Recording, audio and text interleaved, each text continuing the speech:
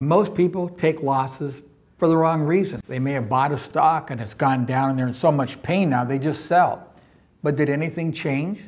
Did the company change? No. If you're a long-term holder of what you think is a good company, just because it went down in price doesn't mean you should sell. Oh, clearly, maybe if their management has changed, if their earnings have changed, that would be a reason to sell. But you need a real reason to liquidate a position at a loss in what you have already labeled as a long-term investment.